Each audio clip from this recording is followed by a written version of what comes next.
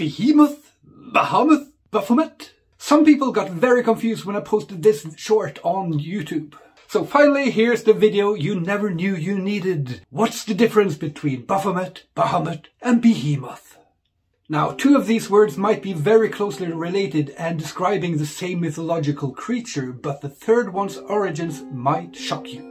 When words sound similar, there might be an etymological link between them, with one word evolving from another. And the same is true for mythological creatures. Mythology and folklore are not D&D bestiaries. A dragon doesn't have plus 10 fire breathing and contrary to what people believe, there's no set definition between a wyvern and a dragon. In fact, each of these words seem to have meant serpent in their original language, and in later use they sometimes refer to the same creature and sometimes to different creatures, depending on when and where the word is used. In addition, each of the words might evolve in different directions and the meaning might shift, becoming sometimes even the opposite of what it originally meant. One such shift might have happened with Behemoth and Bahamut. Behemoth and Leviathan are possibly the two greatest beasts of the Bible. Leviathan is a huge sea creature and the name might be derived from words describing the wreathing of a snake, making Leviathan in fact a dragon. Behemoth is the land-based counterpart of Leviathan, impossibly large and strong, with a tail like a cedar tree, tight-knit muscles and sinew, bones like tubes of bronze and limbs like iron. Behemoth may have been an invention of the writer of the Book of Job, or derived from much older tales of animals such as elephants, hippos, water buffaloes, or even extinct rhinos tales that got exaggerated over generations through thousands of years. By the time it gets to us in the Bible, it has become so huge and dangerous that only its creator, God himself, may overcome the beast. And in modern times, the word has become a general word for anything very large.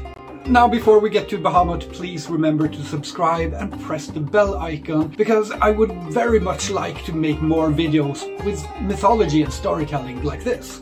After doing thousands of videos on TikTok, this is actually the first in this longer format that I'm doing on YouTube. And it would mean the world to me if you subscribe and you know, may maybe leave a comment. That would be cool. Thank you. Now, what about Bahamut? Bahamut is a great fish or whale swimming around the cosmos in medieval Arabian cosmology.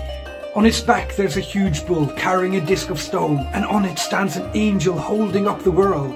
In size, it can truly be described as a behemoth, but over the millennium separating the biblical narrative from the medieval Bahamut, the meaning seems to have shifted.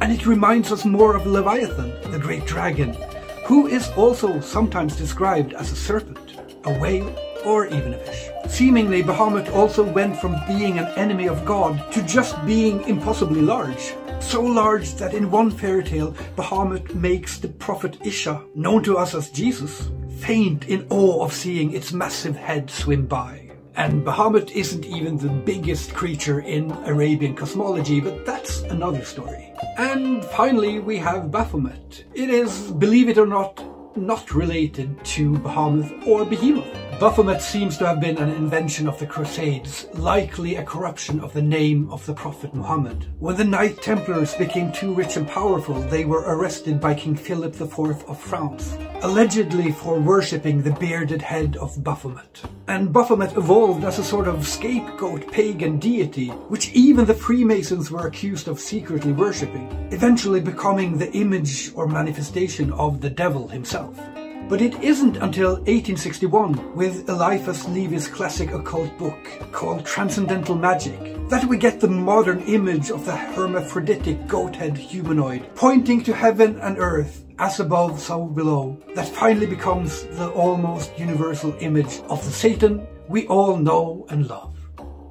So there you have it, the final word on Behemoth, Bahamut and Baphomet.